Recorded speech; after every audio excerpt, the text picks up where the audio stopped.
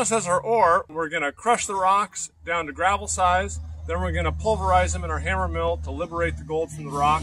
Then the material is going to flow down onto our four foot by eight foot shaker table. The gold and the heavy metals are going to come across into our concentrate buckets. All right, so I got our gold pan down here.